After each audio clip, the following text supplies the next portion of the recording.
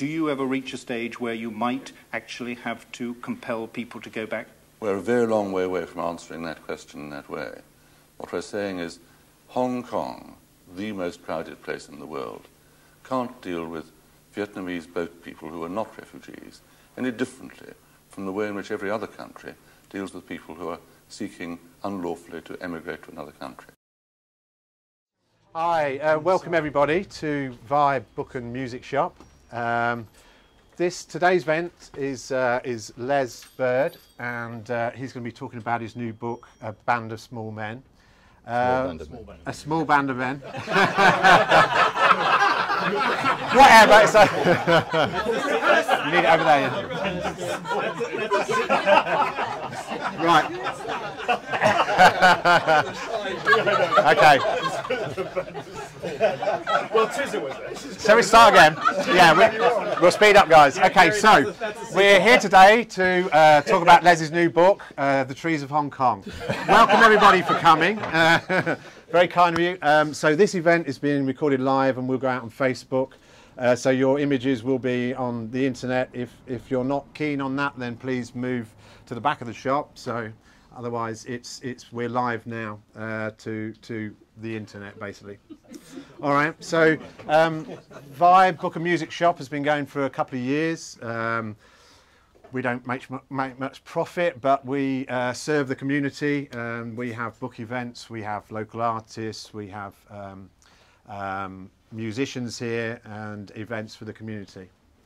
All right, so um, just a couple of concerns. Right, so this is probably the most people we've had in this shop uh, in one go. So um, just to let you know, the exits are here and only here. right, so we have no back door. There's no escape route. You can only go out that way.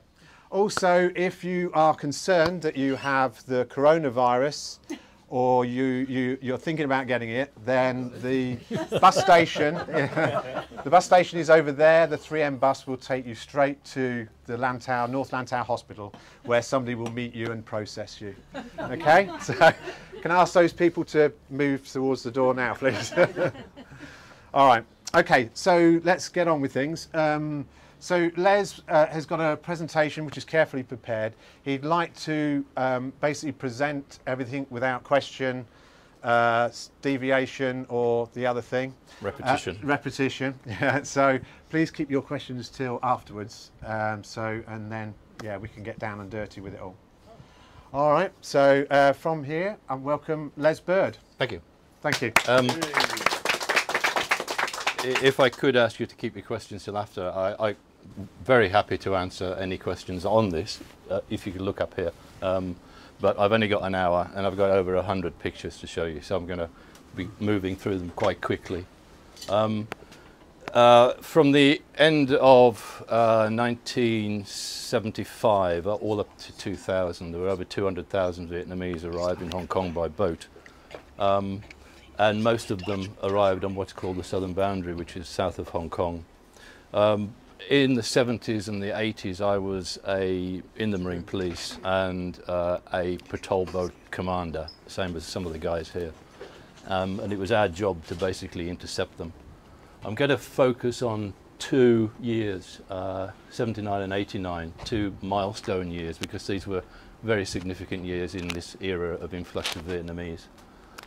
Um, 79, uh, if, you, if you imagine 200,000 in 25 years, and about a third of them arrived in a 12-month period, that was an extremely busy year for, for Hong Kong and for us. And then I'm going to move on to 89. Um, that's when all the Vietnamese camps, there were 13 Vietnamese camps in Hong Kong, um, and they were all full. And the order came in 89, um, hold, them at the, hold them at the boundary, we can't take any more. We need some time to sort it out. And within 12 hours, we had over a thousand people um, on the southern boundary. Um, let's look, take a look at uh, 79. Um, why the big influx? Uh, there was a border war um, between China and Vietnam started in 78. As a result, there was pressure put on the ethnic groups in, in Vietnam, um, and this caused many of them to want to leave. And people smuggling rackets began um, in order to help them leave and to make money, obviously. Um, there was a United Nations um, convention in Geneva in which um, the US, the UK, European nations attended and uh, the governor went along too. It was decided that Hong Kong would, would elect to be port of first asylum status. That means that that we were going to receive all the, the refugees here. They were going to be processed by the United Nations, and then third countries, um, such as the States and Canada, were going to accept them as, as, refugees for resettlement. So it was a big move for Hong Kong to actually put, put their hands up there and say, we, we will do this. Um, just a quick overview of what it was like for uh, those on the boats. Initially in 79, um, the first refugees made it over to Thailand. That's 200 sea miles.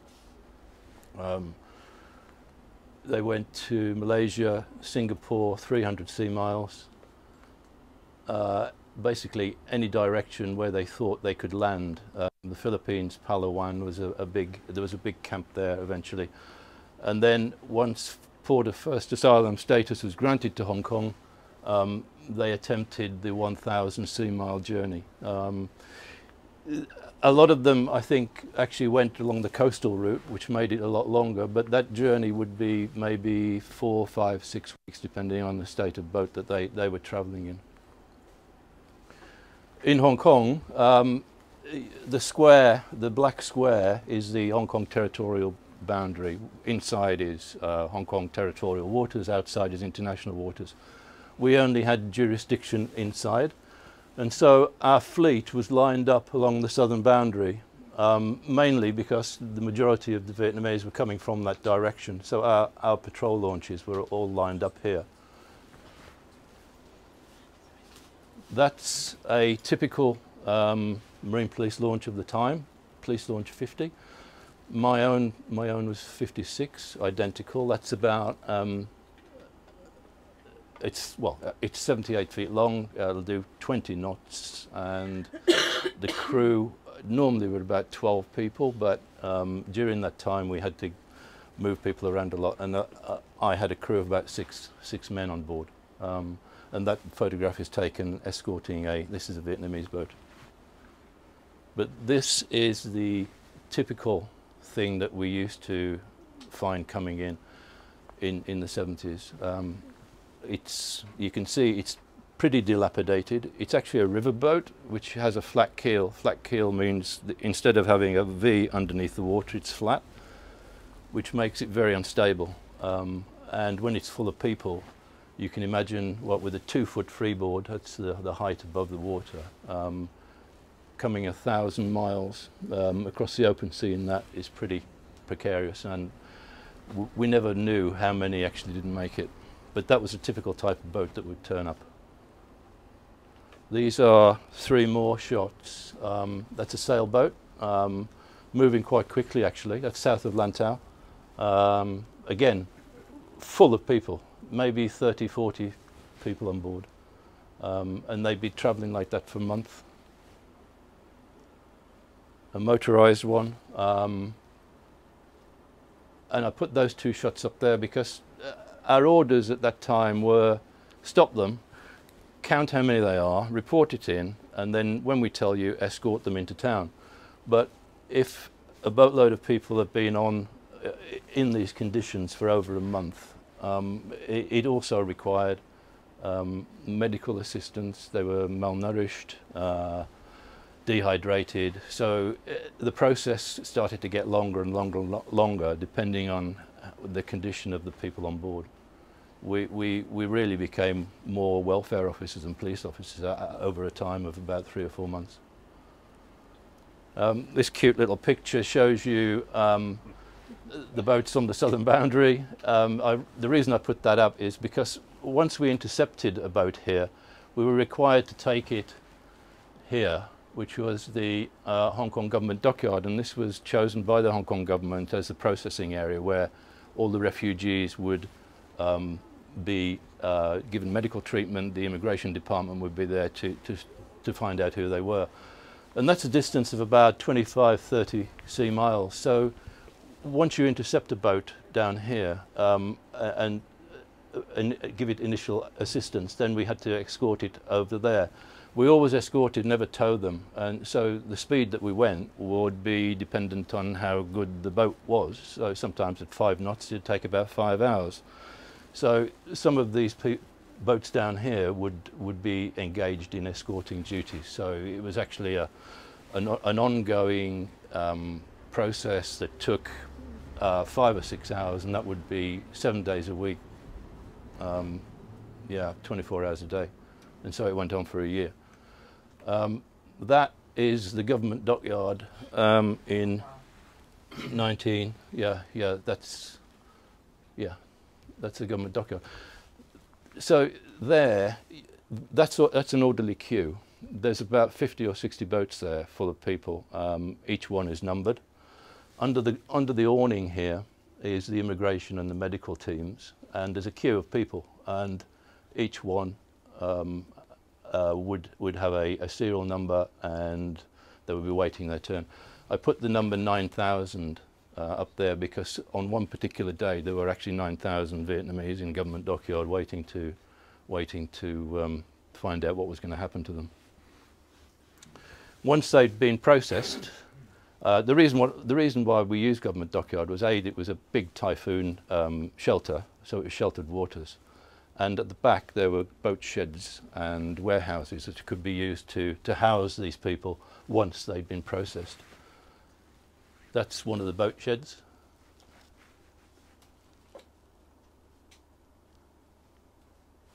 They were only actually in here for about two days, four uh, yeah, two days, about 48 hours before being moved onto a camp. So this was a temporary holding area. And those guys there would be probably getting a briefing on which camp they were going to.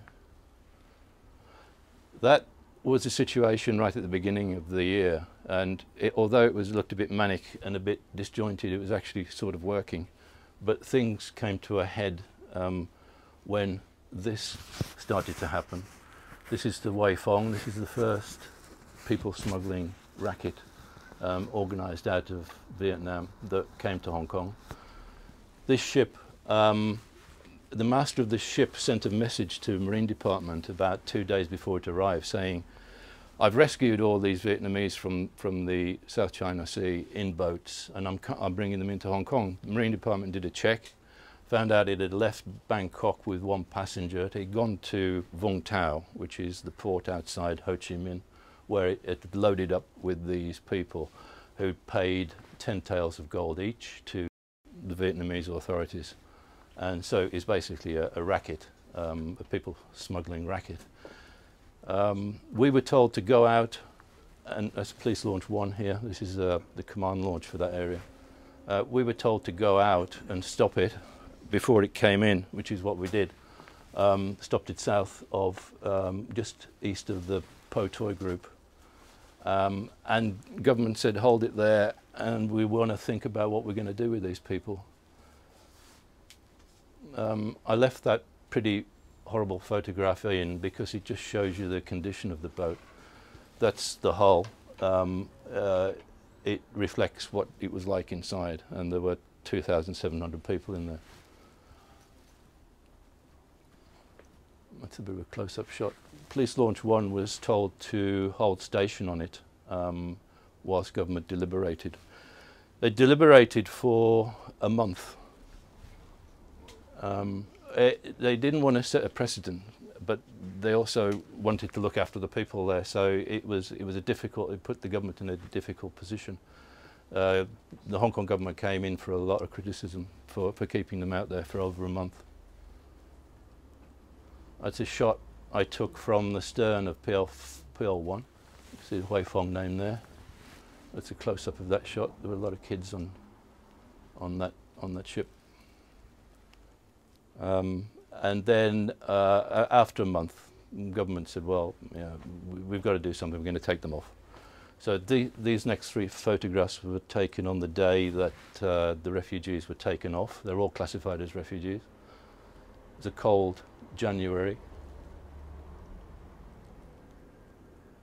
and that's the moment when um, that's the moment when they started to come off. You can see everybody craning their necks here, wait, trying to see what's happening. That's the first refugee coming down the steps. We've put in a flat barge here. You can see the aid workers, um, Marine Police, Police Tactical Unit and government people on the barge. Uh, you can see over on the far side a white um, Hong Kong Yaumati ferry uh, triple decker. Um, they, the fleet of those came in to take these guys off and take them to a camp um, in Hong Kong. So that was the Huey Fong. Um, the, the master and his crew were all charged with various conspiracy um, offences. Um, the, the government really wanted to hit them hard because they'd taken them in. They still wanted to do to set a precedence here and and and and and and, uh, and charge this guy. And he got nine years. He got nine years for for um, people smuggling, and the crew together, the whole crew got 50 years altogether. Uh, and a subsequent search of the boat found 1.4 million US dollars worth of gold in the engine room, which was their cut, basically. So they lost out. The, yeah, so, so we hope that that court result would get back to Vietnam and make people think again. Unfortunately, it didn't work because two weeks later that arrived. um, I think you probably know the, the name Skyluck. It's quite, it's quite well known in Hong Kong. The actual name of the ship was Kylu, K-Y-L-U. They painted an S, a C and a K um, in order to try and fool the, the authorities. I don't know why they did that, but uh, the master learned from the mistake of the first guy. He didn't send a radio message. He decided he was going to come in uh, in darkness uh, with no lights and try and land all 3,200 um, somewhere in Kowloon, I think, because he was he was actually as he came in, he came in the same way and he made it as far as the inner harbour um, before the venerable PL1 stopped him. Uh, and uh, once we found out what that was, we were told to move him round to a sheltered bay in Ha Mei Wan, west of Lama, uh, which is where it sat. So we had now the same situation, the Mexican standoff, what are we going to do with them? Uh, that's a shot of the Skyluck in the bay. Um, that's PL1 on the far side. PL1 got the lucky job. You've done it once, you know how to do it, so this time you're going to do it again. Um, PL1 got the job of looking after um, the people on board whilst government deliberated what to do. This went on for a lot longer, and you can see here what's happening. Um, this is a great shot, actually. Uh, here is all the supplies uh, in covered sort of warehouses that have been put on a barge. Uh, that's PL1 over the far side. And Skyluck actually had a, a cargo of plywood, plywood and cardboard. So while, whilst they were at anchor in Ha Mei Wan, the refugees bought everything out and started building huts on the deck, preferring to live outside rather than in the hold, which is pretty, pretty well, I'd probably, I'd probably do the same thing. Um, and you can see here the few close-up shots you can see how relaxed it was becoming. The, the refugees actually off the ship washing down the barge there. Um, and you can see their houses here. Uh, the Skyluck was at anchor in Ha Mei Wan for five and a half months. um, it, it, the government didn't want to make the same mistake again um, and, and, uh, and sort of encourage this sort of thing. You can see how relaxed it was. Um, the, there's a refugee sitting on the top of the steps. This is the way out. Uh, policemen are playing cards or something there. I'm not sure.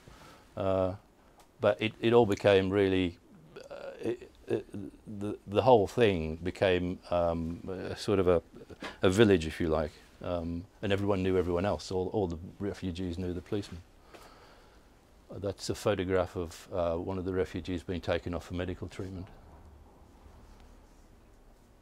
It's, this is an interesting shot. His name, Siu Hong Bun. He's the master of the Skyluck. And that's Paul Lai in uniform. Paul Lai was the Marine commander uh, on PL1 at the time. Um, they got on very well. They're both keen chess players, and that's what they did for five and a half months, basically, sit and play chess. Another interesting character, he was one of the Skyluck passengers, a Vietnamese guy who spoke very, very good English. He became our official uh, interpreter. So he got a job on PL1, which he was very pleased about, because uh, he got him off the Skyluck. Um, and there he is again, giving probably orders from this guy's Jeff Cox, he was the Marine commander. And anyway, five and a half months of this, and everyone was a bit fed up. And uh, anyway, it all came to a head one morning when the refugees cut the anchor chains themselves. On a, they waited for a blustery day when PL1 wasn't alongside. Very, very smart. Cut the anchor chains, and Skyluck went aground on uh, Sekok Choi, which is the northern part of Ha Mei Wan on, on Lantau. And about half the refugees jumped off the ship onto the hill. They didn't run away, they just wanted to get off. There's a shot of them on the hill. The, the people in the red uh, clothing at the top are um, police officers. Um, so most of them, they just sat there. and there were about 1,500 of them on the hill, um, and the others remained on the ship. Um, the older ones, those who couldn't get off, the children, they all remained on the ship, which caused a problem for us because the ship was capsizing towards the island and we had to get everybody off. Um, and you can see there's a ladder down there and PL, PL1 has actually attached some lines and is trying to keep the Skyluck from tilting over. And fortunately, we managed to get everyone off before it, it sank. And it was eventually scrapped. And all the refugees were uh, eventually accepted by Canada. A cute little story. Um, some of the refugees really did get on very well with their minders, the, the, the Marine Police. This family eventually went to live in Canada, and the girl looking at the camera, six years later, she came back. This Paul Lai, uh, that's her, um, and that's taken at Marine Police headquarters. She was taken, she got in touch, said she wanted to come back. They took her out for, for tea, and she even got a trip on PL1. And They went back round to Lama to have a look where the Skyluck actually went to ground. We thought that that might be the end of it. There was a gap of a, a couple of months and no, no, more arrivals by big ship, um, but unfortunately that didn't last. The, the last big ship coming in is called the Sen On. The skipper on this one um, really, uh, he, he took note of what had happened to the other two and he stopped his ship here off Macau and he left with his crew and his gold and he disappeared into Macau and he said to the refugees, that's Hong Kong. We're going to start the engine for you. Now go for it. And they did. And it came in on, uh, it came in just south of Lantau and on passing a beach called Lo Kei Wan, they decided that would be their target and they, not knowing how to stop the ship, they just rammed it straight up the beach. That photograph was taken um, by a yachtsman who happened to be sailing past. And there were 1,400 uh, people on board, and they just piled off and sat on the beach. Saturday, the 26th of May, um, was my day off. I was driving a police jeep along South Lantau Road that afternoon, um, and I was told on the radio something had happened in Lo Kei Wan, so I stopped the jeep, climbed over the hill, came down through this thicket, so I'm actually on this photograph somewhere. I don't really remember what, what, uh, um, where I was, but uh, I was actually on the beach asking everybody to stop. This, I'm a police officer, stay where you are. I know there's 1,400 of you, but just do as, do as I say. So they, they, all sat down, they didn't want to run away, um, and within 30 minutes we had a flotilla of Marine Police launches um, coming in, and they were all taken off to government dockyard. And the following day, I went back and I took these three photos. Um, it was only 800 tons um, a lot smaller than the other two, but still had 1,400 people in its hold, which is in here. Terrible, terrible conditions in there. A couple died actually on the way over. So that was the last people smuggling ship to come into Hong Kong. That's a, a little graphic to show you the size of the Weifeng, Skyluck and Sen On in comparison with each other. We didn't stop a Boeing 47, that's there just for, just, just for show. Can't claim that one. And the size of the Star Ferry in comparison to the Sen On. After the, uh, those three ships, there were a lot more small boats coming in. One on the far right, if you can imagine a thousand miles, two guys on board. Um, these are, are, actually rowing in. Um, this one completely under sail. Uh, some of these people were at sea for maybe two months. And a lot of them were overcrowded like this one. I think the one in the top is really overcrowded. From time to time, um, the boat basically was sinking or the, the engine had broken down. Um, it, it, and what we did then was we would have to tow it, and we never towed them with people in. Um, so we had to take them on board, and they would sit on board the police launch, and we take them into government dockyard that way. That's my boat, the 556.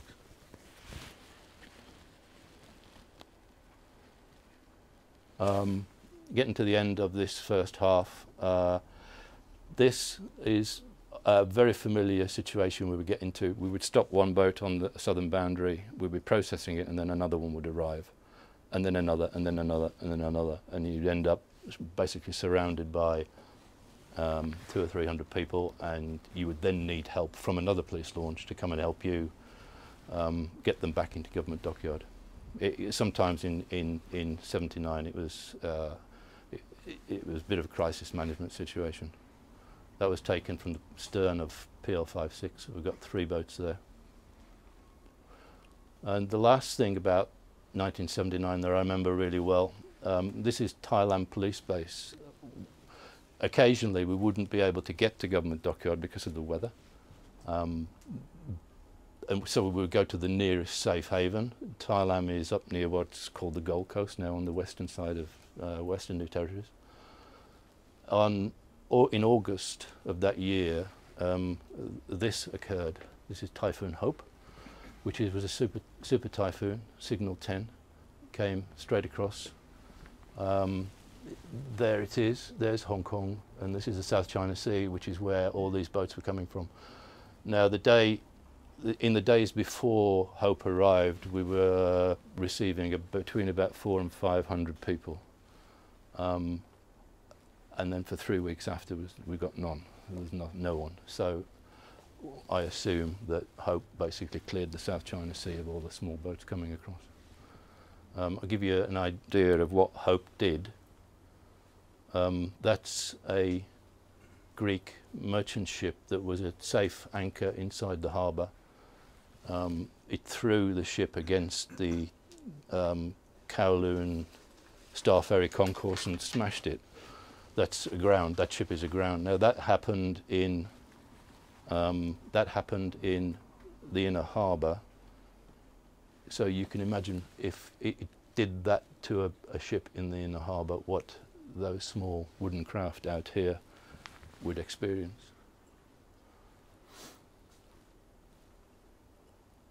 That basically is the end of that first year's photographs. That's just a typical um, type of boat that we, we would have and, and with that number of people.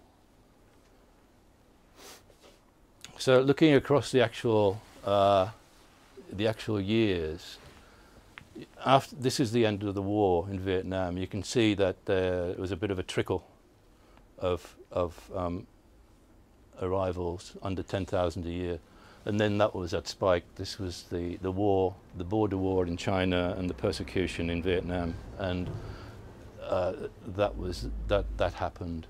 Um, the numbers went down significantly during the 80s because Hong Kong decided to to introduce the closed camp um, policy.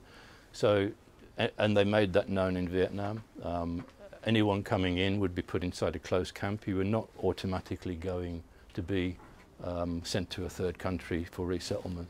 So that actually cut it down quite a lot. But in 1988 and 89, the people smuggling rackets started again in Vietnam, and the um, the rumours started to go around that if you got to Hong Kong, you would be automatically given refugee status. And the people smuggling rackets basically pushed it up. Now, if you add those two figures together, um, you'll see why 89 was a important year. Because all the camps were full. We had 60,000 people in the camps here. There were 13 camps. And um, they were having problems in other, um, in other Southeast Asian countries too. The United Nations um, introduced what they call the CPA, uh, Comprehensive Plan of Action, which meant that instead of everybody becoming refugees, you're now going to be interviewed. Some of you will be given refugee status. Some of you are going to be classified as illegal, immigrants or economic migrants, as they were. Um, and a repatriation um, procedure with Vietnam was arranged with the UN so that anybody who was not a genuine refugee would actually go back to Vietnam. Um, it had to be done because uh, it was just getting out of hand again. Unfortunately, those in Hong Kong who were uh, segregated out and identified as uh, illegal immigrants didn't like that, and the camps started to. Um, well, there was rioting, particularly in the Whitehead camp. Um, some of you remember that, uh, and it became actually quite dangerous because we had North Vietnamese and South Vietnamese uh, mixed together, um, and uh, the rioting got quite bad. And it was at that time, on the 2nd of June, that we were told um, okay, camps are full, there's rioting, we need some time, hold all vessels out on the southern boundary. Um, and we said for how long? They said, well, maybe 12 hours. Would give us some time. We need to sort it out. That's an order. So that's taken on that day. Um, and within 12 hours, we had 16 of these boats uh, out south of uh, Lantau and Lama yeah.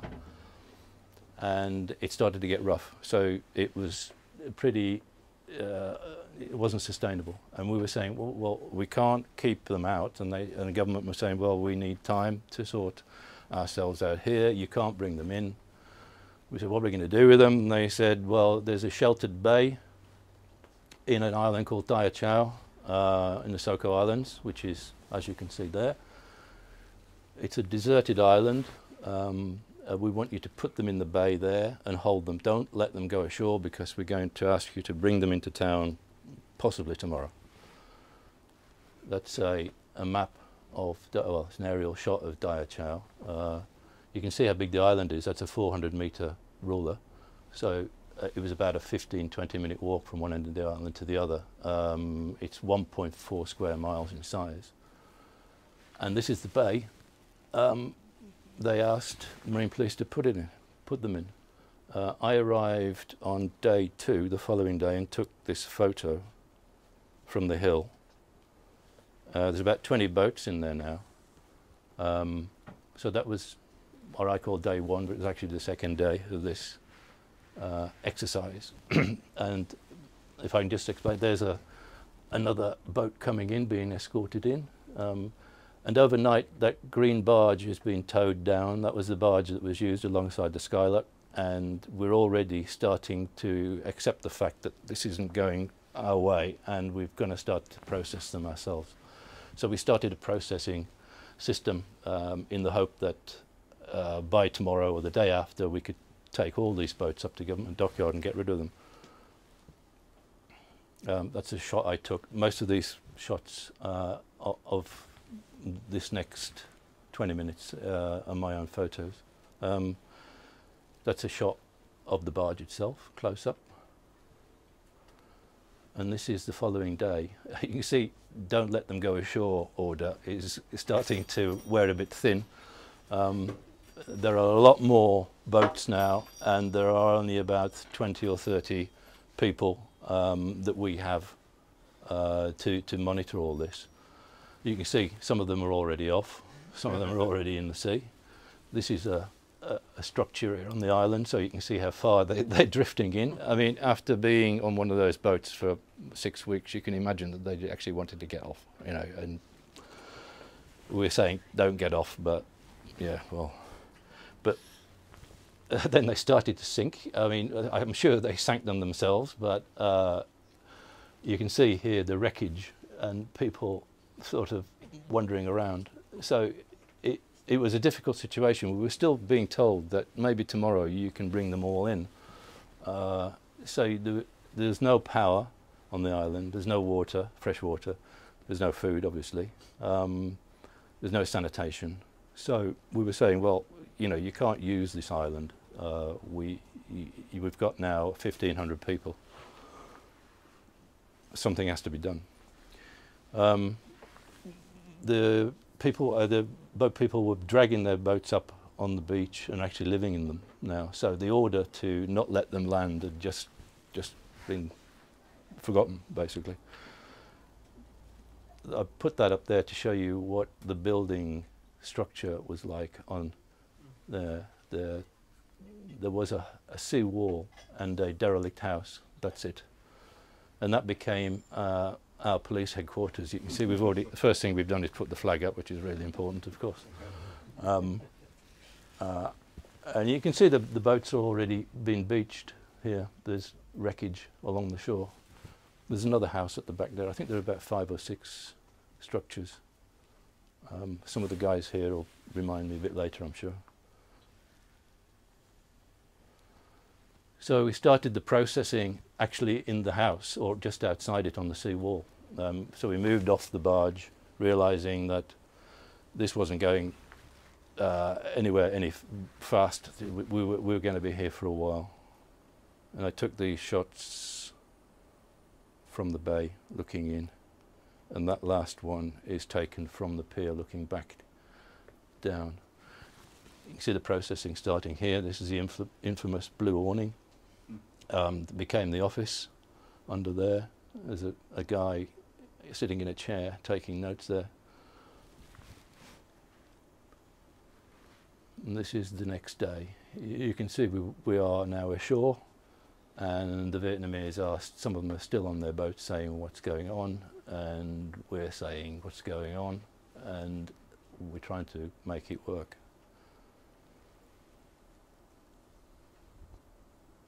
There's the office. You see there's a government chair just to prove it. Uh, that's one of my boats over there, 20, um, shallow draft. The, the draft at the, at the pier, um, th there was hardly any water here, so a big launch couldn't come in, so we had to ferry stuff in using our small boats. These are two of my guys here. These are Vietnamese uh, volunteers helping, and that's a food, uh, one of the first food um, arrivals. Food was biscuits, um, beans and rice. So we had the job of giving it out as well. Um, by the next day, we were actually numbering, uh, numbering the beaches because that's where everybody was drifting off to. So there was Main Beach, which is what we've been looking at just now with the house. Then there was a couple of more beaches, which some of the Vietnamese preferred. That was Main Beach uh, on day five. It's getting, you know, there was now, end of the first week, there's 3,000 people.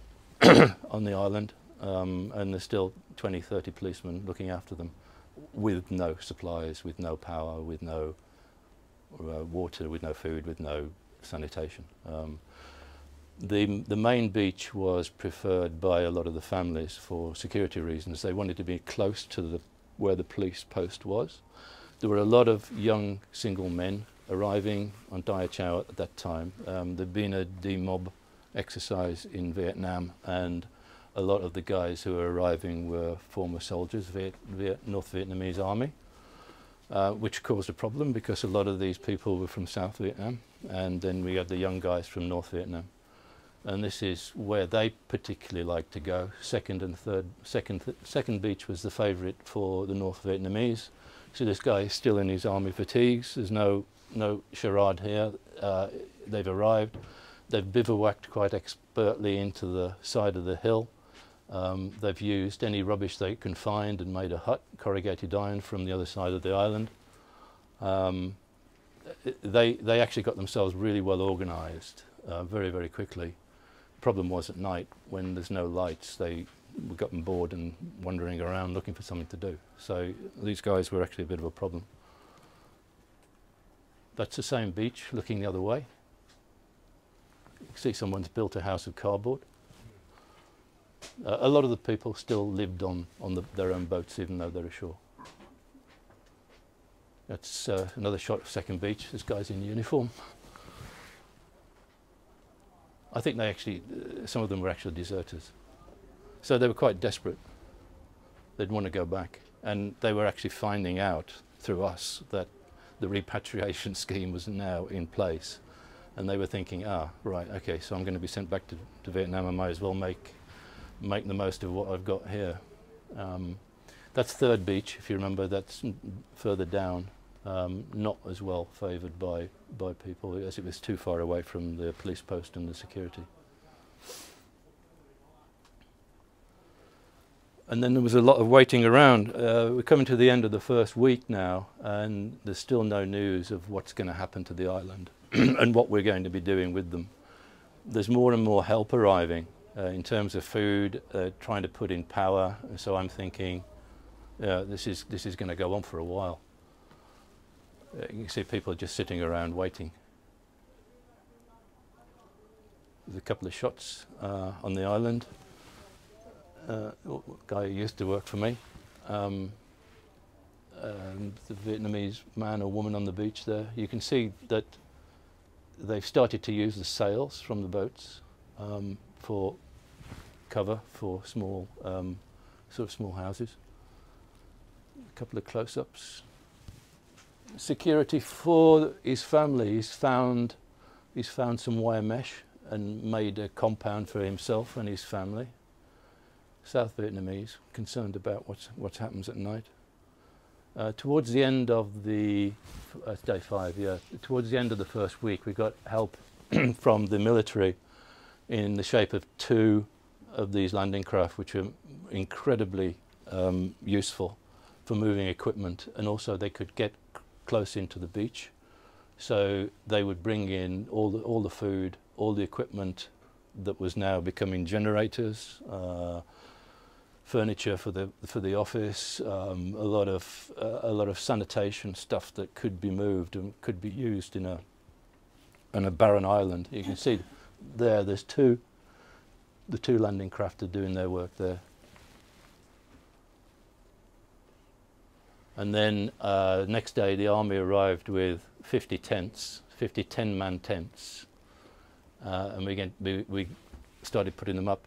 So it became a tent city, but the tents, a lot of them we, we were able to use to, to, as roofing. There was a lot of sort of this sort of affair on the island where a few walls with nothing in them.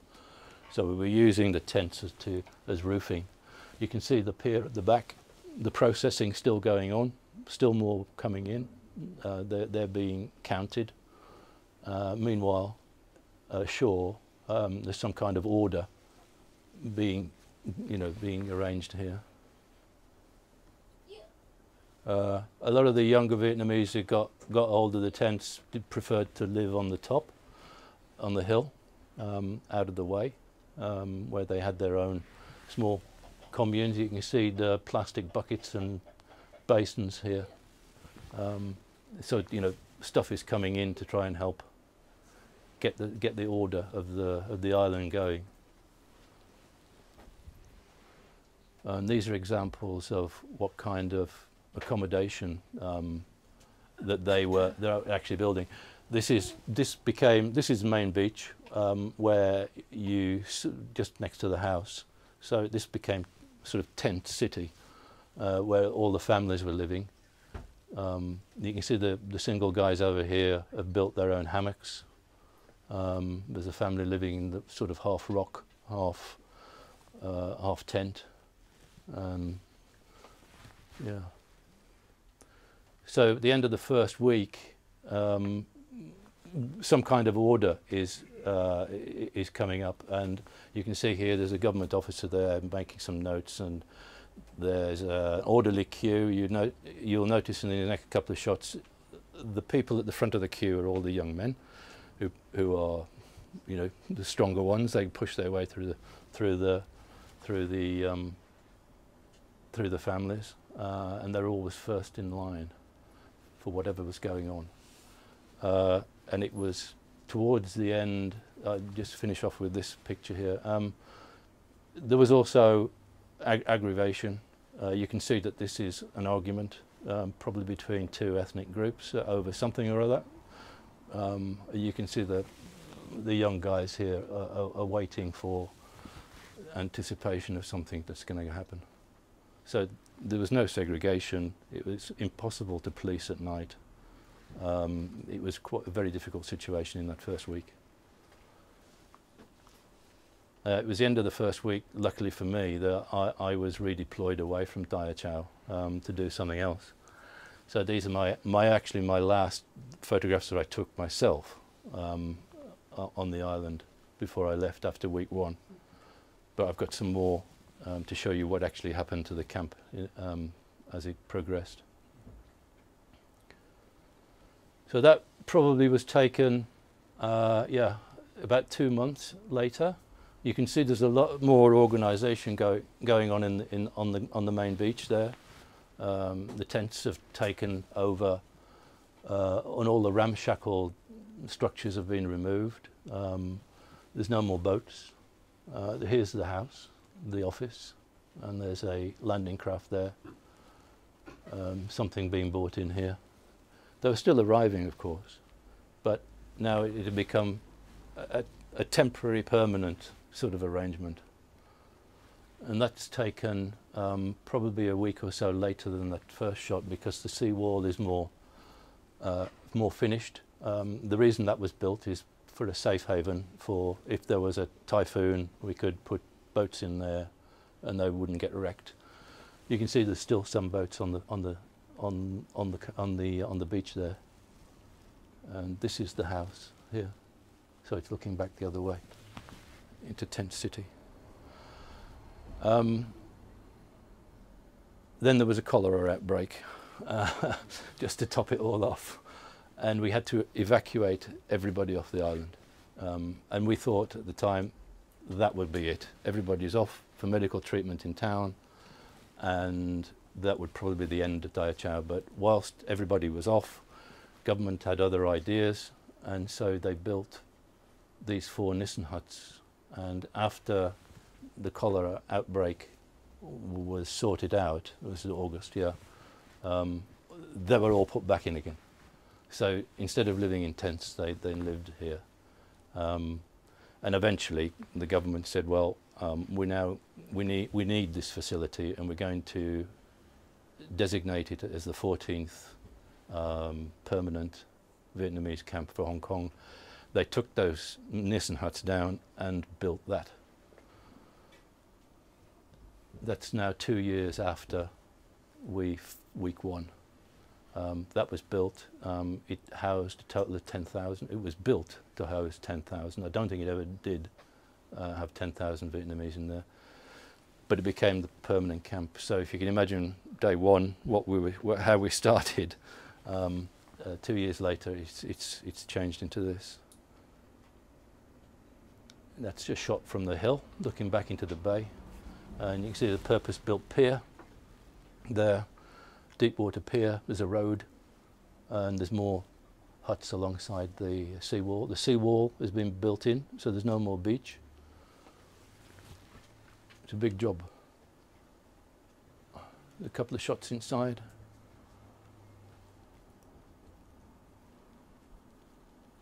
And the 1996 was the day that uh, was the time when this was actually closed down. uh, just before the handover, um, government decided to close the camp. And all the refugees inside, or those people who were inside, um, there were 5,500 of them um, on that particular day, and it took about a week to move them out, and they were put in other camps. Hmm. Let's see if this works. Yeah. So, after they were moved out, uh, it was knocked down, and that photograph, those two photographs were taken about, I think, about five years ago. You can still see where the, where the, the, the, the outline of the camp. So that was that is more or less the way it is today. This is the main beach. Sea wall. This is where Tent City was, and this square here was where the house was. So you look back at it as it was uh, that first week, more or less the same angle of the photo. You see the house there, and that was the beach. And that was the end of that particular exciting week that lasted seven years. And that's basically a summary of what happened for those 20 years. Uh, there were 211,000 Vietnamese arrived in Hong Kong, 143 resettled, and 67 went back to Vietnam. 67,000 went back to Vietnam. Uh, thank you. That's it.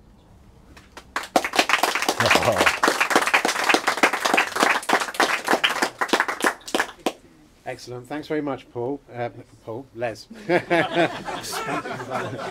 band of band of small men. Band of small men by Paul. What's his name? Thank you very much, Les. Uh, excellent talk. And um, Les's book, A Small Band of Men, is available here at uh, $180. Les will dedicate it to you if you're interested. Um, there is a small number here. Okay, all right, thanks very much.